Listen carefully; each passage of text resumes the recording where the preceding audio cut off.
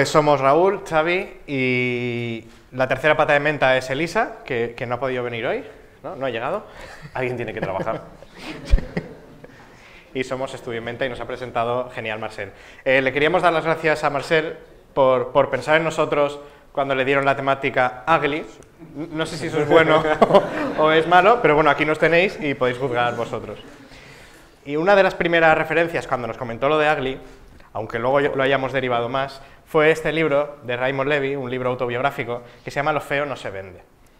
Entonces ahí empezamos a sacar nuestras, nuestras divagaciones y nuestras conclusiones sobre ello eh, y creemos que lo feo no vende. Eh, posiblemente, eh, una de las frases que más oímos los diseñadores, por desgracia, es te lo voy a pasar en Word y tú ya sí eso lo haces bonito. ¿Vale? Esto, que desgraciadamente creo que todos lo oímos mucho, posiblemente demasiado, nos dice una cosa. Primero, que muy poca gente entiende realmente qué es lo que hacemos, ¿vale? Y eso posiblemente sea, sea culpa nuestra, ¿vale? Sea culpa de los diseñadores porque eh, mantenemos nuestra metodología eh, de una forma poco transparente. O sea, somos poco transparentes en cómo hacemos las cosas, las contamos muy poco. Eh, posiblemente porque también eh, eh, tenemos una cierta soberbia y pensamos que, bueno, ¿para qué le voy a explicar todo ese trabajo que yo he hecho antes y total, seguramente no lo va a entender? ¿no? También posiblemente es culpa de cómo enseñamos el diseño en las escuelas y hacemos y enseñamos el diseño de manera en, la que nos enfocamos en el resultado y no en el proceso.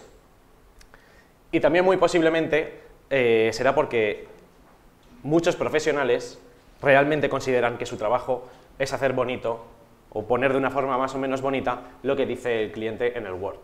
Al final es esa lucha entre la estética y el proceso y nosotros lo que intentábamos con esta presentación también es, elevar y subir donde merece el proceso. Porque para nosotros el, diseño gráfico es comunicación, es una relación de emisor-receptor y como diseñadores gráficos nos, mm, nos consideramos un poco los solucionadores de problemas de comunicación. Claro. A nosotros lo que nos interesa, o nuestra mm, manera de, percibir esa, esa, en realidad cuál es nuestra labor, es justo lo que pasa en medio. ¿no? Y, y al respecto de esto, eh, nos gusta mucho una cosa que dice Richard Hollis. Richard Hollis es un diseñador británico y eh, escritor y, profesor eh, que habla muchas veces sobre y escribe muchas veces sobre, sobre semiótica. Y él afirma, todos los elementos gráficos son marcas. Hay que entender una cosa, cuando Richard Hollis habla de marcas, no se está refiriendo al branding. Él, cuando en inglés dice marks, se refiere a, eh, a una huella, a un rastro de algo. ¿Vale? Entonces, para, para Richard Hollis, todos los elementos eh, que colocamos en un diseño son marcas, es decir, son huellas. Dejan algo. Esto se entiende muy bien con un ejemplo, ¿vale? Vamos a hacer un ejemplo suyo. Él dice, la máquina de escribir, eh, además de servir para transmitir un mensaje, está dejando huellas. Las huellas es la propia eh, marca de, la máquina de escribir. Es decir, te está diciendo algo sobre el documento. No es un documento industrial, por ejemplo. Es un documento que una persona ha escrito a mano, a través de una máquina. ¿vale? Es decir, hay, eh, más allá del contenido del texto, hay un contenido de significado alrededor de lo que supone escribir con una máquina de escribir. Si, pues, si pensáramos, por ejemplo, en una impresión en offset, la impresión en offset también nos está dando un significado por el hecho de ser offset. Está hablándonos de una seriación industrial, es decir, algo que se ha hecho de forma masiva. Hay una información que percibimos. Por eso hacemos, por ejemplo, esas atrocidades o vemos esos, esos diseños en los que para que parezca una cosa se le da una textura vieja, para que parezca Instagram le das como fotografía antigua, o una tipografía, la Garamond, siglo XVI, pues si la utilizas ya sabes que estás denotando ciertas cosas que te recuerdan a algo clásico, al pasado. Claro. Por ejemplo, Garamond es una tipografía del siglo XVI pensada para un, eh, unas formas de reproducción del siglo XVI. Cuando tú la usas hoy, tiene una textura que transmite una serie de valores que tienen que ver con cómo se hizo y por qué se hizo, cuál era la función de esa tipografía. Una cosa que, criticamos y nos pone muy mal leche en el estudio a veces es cuando vemos eh, que en cartelería impresa se utilizan, por ejemplo, interfaces gráficas o elementos del móvil, de los avisos de las notificaciones, para decirte que son modernos. Y es de, hostia, es un mal uso de esto.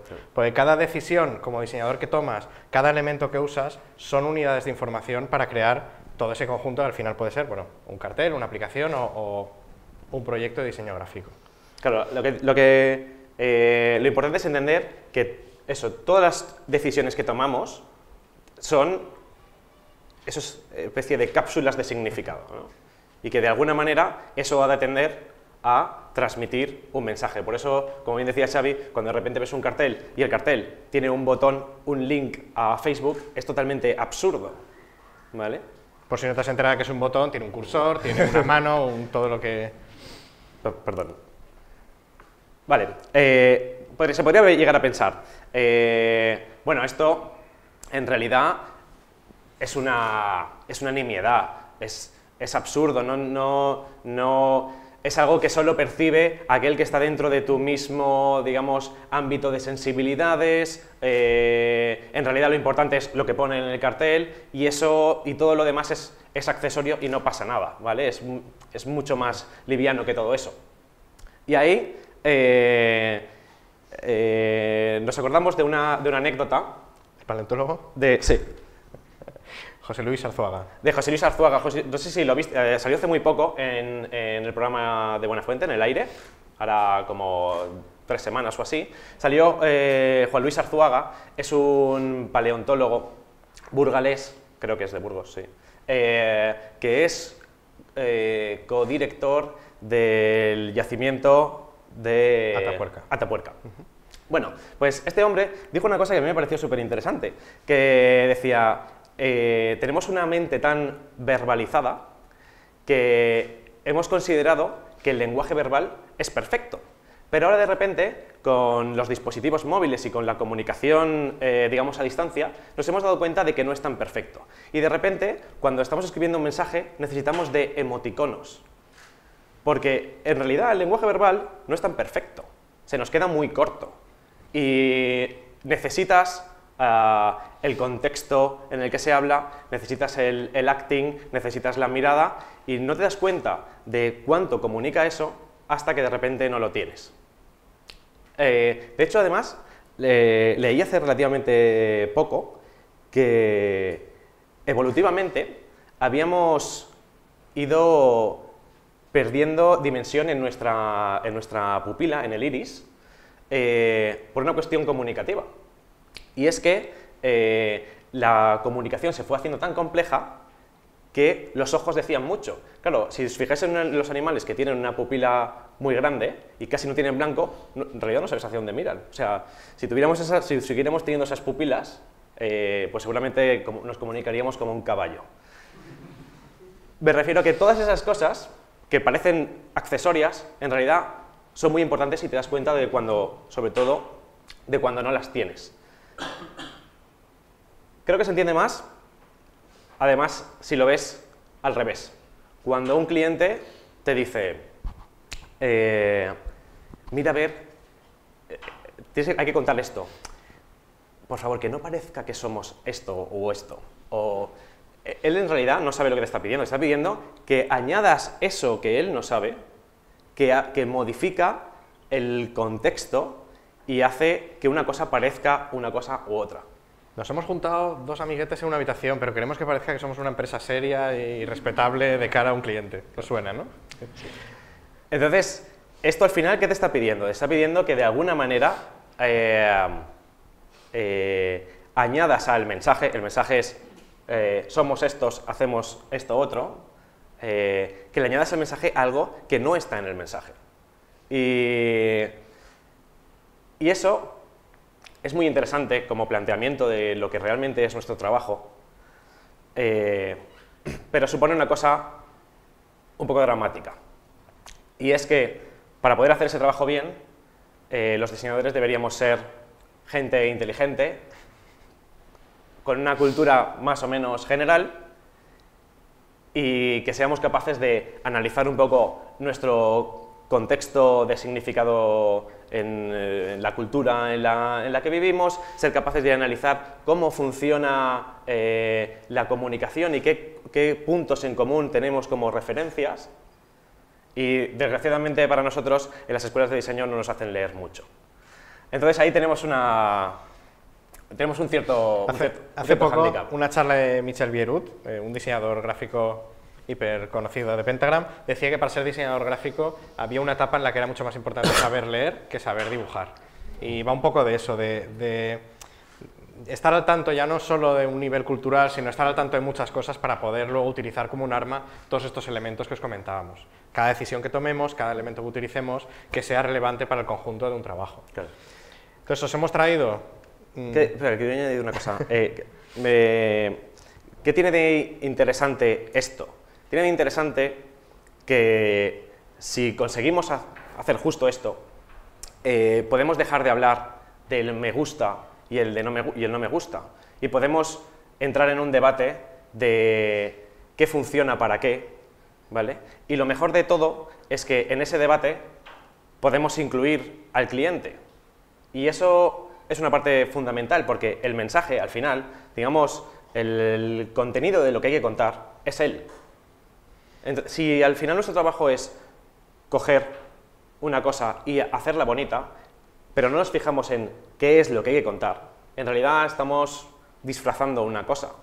Pero si trabajamos el qué es lo que hay que contar y buscamos de qué forma es la mejor para llegar a transmitir ese contenido, es cuando creo que realmente haremos bien nuestro trabajo. Y además, conseguiremos que sea bonito, ¿vale? aunque sea una palabra que, tenemos muy denostada. Por eso, por ejemplo, aunque daría para otra charla otros 20 minutos, eh, el formato de los concursos de diseño son tan absurdos, porque consiste en disfrazar algo. Porque te dan cuatro líneas, te dan unas pautas a 300 diseñadores y hay que disfrazar algo, no hay relación con el cliente, no vas a hablar con nadie. Hay un primer brief que la mitad de las veces son mentira, porque cuando vas hablando con un cliente, creo en cualquier profesión, es cuando vas, vas descubriendo tú como cliente y tú como, como proveedor también de servicios. Decía que que ese proceso, al final, si conseguimos que de alguna manera se acerque al paradigma de lo que tiene, si el resultado se acerca más o menos al paradigma de lo que tiene que significar, es decir, yo quiero transmitir uh, mediterraneidad y consigo que con los elementos más esenciales eso huela al Mediterráneo, va a ser bonito. Pero va a ser bonito porque es una consecuencia y no simplemente porque he mirado cosas por internet y he dicho, lo voy a hacer así rojo y lo voy a poner, porque de alguna manera simplemente estoy haciendo un, disfraz. O sea, entonces lo que os proponemos es... Me encanta esa afirmación de lo esencial es lo bonito, y mm. eso se consigue pues currando. Claro, porque es bonita, aunque aburre, la helvética? Porque de alguna manera se aproxima a un, a un, a un paradigma de lo que quiere transmitir. O sea, quiere transmitir neutralidad, y es tan asquerosamente neutra es tan asquerosamente neutra. Es que no dice nada. Que, la, que, la, que es preciosa en ese sentido. Eh, entonces, lo que os queremos proponer es que cambiemos nuestra metodología de trabajo eh, para dejar las cuestiones que tienen que ver eh, con el contexto, digamos, estético para una segunda fase. Y muy rápidamente, para no alargarnos demasiado, vamos? Queremos explicaros cómo lo hacemos nosotros, ¿vale? Eh, ¿Cómo hacemos para, eh, plantearnos los proyectos y sobre todo cómo hacemos para contárselos a los clientes, ¿vale? Porque ahí nos parece que en realidad la mayoría de pocas buenas ideas que hayan surgido eh, en el estudio no han surgido cuando no estaban los clientes, han surgido cuando ellos estaban y eh, han surgido fruto de, de esos diálogos. Listas y diagramas. Creo que posiblemente la cosa que más hacemos en el estudio es esto. ¿Vale? O, listitas con eh, conceptos. Eso es posiblemente lo que más hacemos. Y es que de alguna manera, cuando a ti te cuentan el brief, eh, tú tienes que buscar la manera en la que eso se puede transformar en un discurso que sea visual. Es decir, si yo esto tengo que darle un lenguaje visual, necesito ordenarlo de una manera particular que no tiene que ver con el lenguaje escrito o el, lenguaje verbal, sino que de alguna manera eh, el orden muchas veces es diferente. ¿no? Antes que nada, esto tiene que transmitir, decía antes, mediterraneidad. Vale, esto, tiene, esto es un valor que tiene que estar por encima de la jerarquía. Entonces, eh, intentamos hacer esa especie de diagramas. Os vamos a enseñar algún, unos cuantos proyectos. Uh, llámalo proyectos, llámalo fracasos, llámalo eh, inéditos. Claro. Eh, decimos que, posiblemente son fracasos porque ninguno de los proyectos que os vamos a enseñar son proyectos que hayan visto la luz, ¿vale? Por un motivo o, por, otro, ¿vale? Esto es un proyecto que nos llegó hace un año... Un año y medio. O un año y medio. Uh, para hacer eh, una marca de playas de Valencia. Esto es lo que había. Sí. no, estamos, no estamos tan locos, ¿vale? Eh, el, primer encargo era cambiar el logo, o sea, era eso, que, suena a concurso de diseño, lo de no, queremos cambiar el logo, otro logo bonito. Claro. Ellos tenían esto y decían, eh, queremos cambiar el logo. También somos masocas, ahí podíamos haber cambiado el logo y punto, pero no. Pero entonces dijimos, bueno, espérate un momento, eh, cuéntame de qué va esta historia, ¿no? Y entonces lo que nos contaron es que, que, resulta que aunque no lo sepamos, no lo sabéis, eh, Valencia no solo tiene dos playas, la Malvarrosa y... Y la otra. Y la otra. Tiene la, ocho playas, 20 kilómetros de playas de la ciudad de Valencia, o sea, metropolitanas de Valencia. O sea, las que pertenecen al Ayuntamiento de Valencia, la última se llama La Garrofera y está eh, a tomar por culo. Eh, eh, justo donde empieza el Perellonet. Ahí, ¿vale? Que está la gola de no sé qué. Todas esas pertenecen al Ayuntamiento de Valencia. Y los valencianos no lo saben. Pero ellos decían, bueno, ¿cómo lo solucionamos? Hagamos una marca. Uf, no funciona. Hagamos otra marca. ¿Vale? Entonces dijimos, no. Vamos a, vamos a replantear esto, ¿vale? Entonces, lo que nos planteamos es, bueno, lo que no puede ser es comunicar algo que no se ha definido. O sea, nadie ha dicho, nadie sabe las playas son esta, esta, esta y esta. Primero habrá que definirlas, ¿no? Y decir, mira, las playas son esta, esta y esta, y esto tiene una identidad. Pero no puedes poner la identidad por encima de, del concepto, ¿vale? Entonces, por ejemplo, empezamos con los diagramas, ¿no? Y decíamos, bueno, ¿qué hay que comunicar? Hay que comunicar dos cosas. Os hemos traído las fórmulas secretas, perdona. Ahora todos podéis ser diseñadores gráficos con estas, con Sí, sí, sí. Esto, lo, esto, bueno, en realidad esto tenemos un botón y vas haciendo como churros. Eh, entonces, por ejemplo, decíamos, hay que comunicar dos cosas. Una de las cosas que una está muy clara, es el bien que se gestiona. Lo que se gestiona son las playas. Pero hay otra cosa muy importante, que es la gestión. A mí, personalmente, como ciudadano, me molesta mucho cuando las instituciones públicas eh, te cuentan su gestión como si te lo estuviera contando una empresa privada, ¿no? Que tiene mucho color y tiene que decirte las cosas como muy guay. Y yo no quiero eso de una institución ah, pública.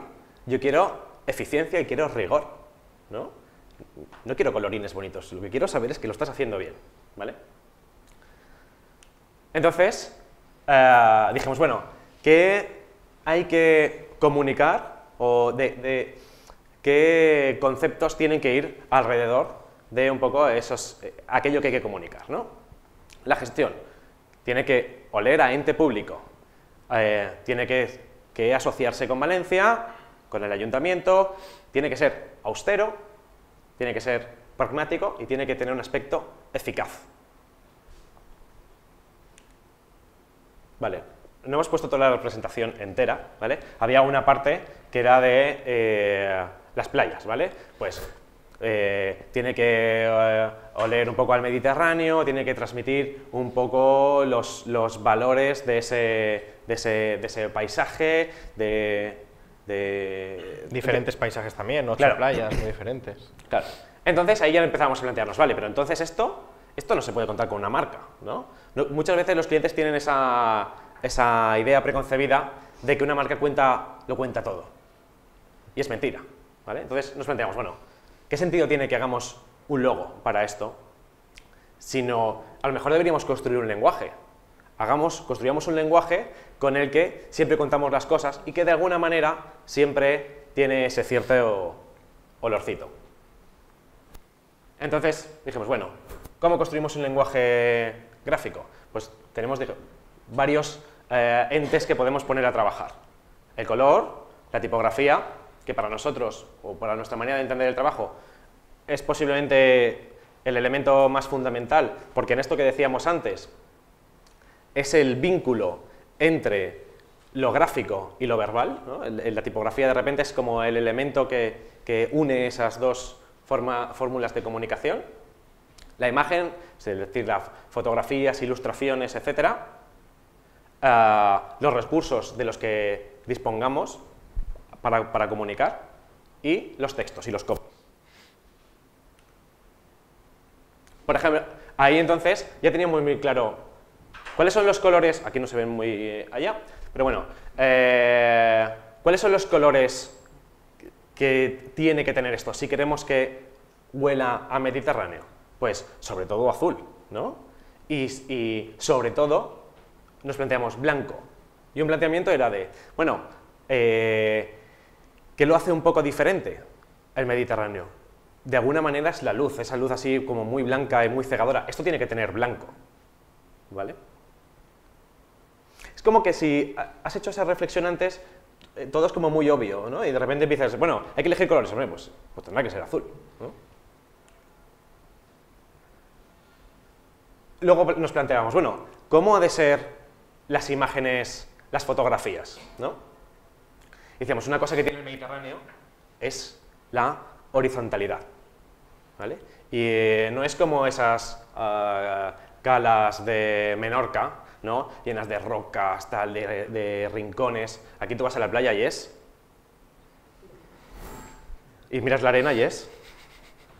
¿Vale? Pues de alguna manera eso tenía que, estar. Es un poco minimalista el Mediterráneo, nuestro Mediterráneo. El Mediterráneo de otros es diferente, ¿no? pero el nuestro eh, es un poco así. Entonces, bueno, empezamos a trabajar toda una, serie de, pictogramas porque una de las cosas que nos parecía muy importante también era señalizar las playas. Es decir, tú tienes que poder ir paseando por, eh, por el Saler y saber que ahí hay un acceso a una, playa entre, entre las dunas. Y al final hicimos un poco esta marca, entre comillas, que no es exactamente una marca. A simplificar el logo del Ayuntamiento de Valencia y aportarle toda la síntesis de todo esto que os estaba diciendo Raúl del mar. Y era esto. Que la idea era no usarlo tanto como una marca, sino eh, como una especie de sello, una manera simplemente de identificar eh, una serie de, de comunicaciones. Pero el concepto básico era esto, el mar y Valencia. Entonces estuvimos trabajando esta serie de, ilustraciones en las que intentábamos hacer esa especie de, síntesis que nos parecía que de alguna manera eh, podía tener relación, pues, eh, sabéis que hay un día que se va a la Malvarrosa a, volar las cometas, ¿no? O, o hay algunas que tienen cerca dunas. Veis que, por ejemplo, la, marca nunca iba... Eh, eh, creo que el Ayuntamiento de Valencia hace una cosa en la que se equivoca, y es que, eh, como casi todas las instituciones, tienen logitis, ¿no? Y entonces en la logitis empiezan, eh, los carteles de ayuntamiento tienen que tener el, logo del ayuntamiento, el logo de la regidoría de no sé qué, entonces en este caso la regidoría de playas, pero es que la regidoría de playas ha sacado una marca para las playas, entonces el loguito ese de la estrella no sé qué va ahí, entonces van como añadiendo tal, y yo creo que es mucho más fácil entender algo cuando dices, esto es el Ayuntamiento de Valencia, y tiene un sellito o un indicador que te dice que esto pertenece a, digamos, el ámbito de ah, la gestión que hacen de, de- de las playas. ¿no? Y esta era un poco eh, la, la- ¿Sabéis lo del logo inicial? Pues acabó siendo una campaña de explicar eh, que cada playa era diferente, cada playa tenía unos valores, por lo tanto hay una playa para ti, para ti, para ti, para ti. No sé si en algún momento verá la luz, pero bueno, eh, ese es el trabajo que, que hicimos. Tenemos dos casos más, pero ya nos hemos fundido. Poco tiempo más. Lo voy a pasar muy rápido, ¿vale? Ah, Fotón es un... Esto también es un trabajo que... Todos son trabajos que no han salido, ¿ves tú qué cosa? Ah, esto es un trabajo que, que nos llegó y nos llegó como una colaboración. Nosotros, que no nos gusta nada hacer cosas gratis, no se trabaja gratis, aprovechamos para este momento de ¿vale? difusión. Nunca se trabaja gratis. Pero no, no quiere decir que, que- que tengas que cobrar con dinero. O sea, si yo voy a trabajar gratis, yo pongo unas, ciertas, unas condiciones en las que yo, en realidad, sí voy a cobrar. Voy a cobrar en, por ejemplo, tener un trabajo que de alguna manera represente mi manera de hacer las cosas. Y eso a mí me sirve. ¿vale? Entonces, cuando a nosotros nos llega un proyecto así, decimos, vale, me gusta el proyecto, perfecto, vamos a hacerlo para adelante, pero hay una condición. Hago lo que me salga de las narices. Y si, y si en algún momento hay un pero, no pasa nada, tampoco nos vamos a enfadar. Si en algún momento hay un pero, pues paramos y, y se acabó. Esto es un Porque proyecto mi, de- mi- mi manera de cobrar es hacer lo que me salga de las narices. Es un proyecto no lucrativo en el sentido que es un grupo de fotoperiodistas de Valencia que montan un certamen de fotoperiodismo. Entonces a nosotros además esta parte cultural pues nos gustaba mucho porque precisamente íbamos a poder hacer lo que nosotros queríamos. Y es muy importante lo que ha dicho Raúl de voy a hacer lo que yo quiera. Si en algún momento no se hace, me estás dejando de pagar. O sea, no es simplemente de haré lo que yo quiera, vale, vale, vale, luego te lo cambian y acaba saliendo. No, ahí no me has pagado. Entonces, ellos eh, tienen esta marca, ¿vale? Y nosotros eh, pensamos exactamente lo mismo que pensábamos con... yo creo que un festival de fotografía no necesita una marca comercial en el sentido de eh, competir con Nikon, ¿vale? Sino que se mueve, se mueve en otro ámbito de significado, en otro ámbito cultural diferente, en el que no necesita hacer ese tipo de, de acciones de comunicación. Bueno, viene un poco por lo mismo de antes. Lo de playas nos pedían un logo y dijimos que por qué una marca, que había que hacer muchas cosas. Esto es un poco lo mismo. El, el- el brief no era cambiar el logo, era hacer eh, la campaña de ese año, o sea, la comunicación de ese año. Y es cuando nosotros les dijimos que había un problema previo, que era el logo. que era el logo. ¿Qué tocapelotas somos? Entonces dijimos, bueno, en realidad aquí, ¿de ¿qué hay que contar? El problema es que muchas veces no te dicen qué hay que contar realmente, te dicen lo que hay que hacer, hay que hacer un logo. No, no, no, dime qué hay que contar. Lo que hay que contar es, y a nosotros nos parecía, a este señor. Este señor es el que se ha metido en un berenjenal de tres pares de cojones por amor a su trabajo y él ha vivido una experiencia que a duras penas es capaz de contarte con fotografías. Entonces lo que nos parecía es que lo que tenía que contar es la experiencia, es decir, lo que hay detrás de esa imagen. Entonces, de alguna manera, un poco eh, salía esta, esta cosa de, eh, el la imagen como documento, eh, la historia contada hoy, el texto en cuanto a, la parte narrativa que, es, que, acompaña a la imagen. Y dijimos, bueno, eh, ¿cómo hacemos esto de la forma más básica posible? Dijimos, bueno, una imagen al final es un recorte, es el, fragmento que el fotógrafo ha decidido seleccionar. Y sobre esa hay una historia, ¿no? Entonces hicimos, les propusimos esta, esta marca. Uepa, ¿vale? Eh, no están las aplicaciones, porque queríamos ir rapidito, eh, pero las aplicaciones, por ejemplo, eran carteles en las que había la fotografía y un cartel exactamente igual en la que había una cita en primera persona del fotógrafo, que de alguna manera iba un poco en, en ese, en ese concepto de contar la historia del fotógrafo junto con la, junto con la Yo puedo imagen. quitar todos esos elementos de los que hablábamos que dicen cosas, que son marcas, era quitarlos. O sea, había una O que era como el ON de, de encender en el anterior, era un lenguaje muy tecnológico y lo cambi- tipográficamente lo cambiamos, quitamos ese símbolo y era como más cultural, ¿no? La tipografía esta. Bueno, Masar. Y acabamos. ¿Sí? Y acabamos rápidamente con este. Muy rápido. Sí. Ah, Tenemos cinco minutos más para preguntas. vale, Sí. Por eso tenemos que acabar ya. vale, perfecto, pues acabamos ya. Por Pues- respeto a los que tienen que ir Vale. a trabajar ahora. Ok, ok. Pues lo dejamos ahí y os dejamos cinco minutos de, de maravillosas preguntas. Muy bien, muchas gracias a Xavi y Raúl. Un aplauso, por favor.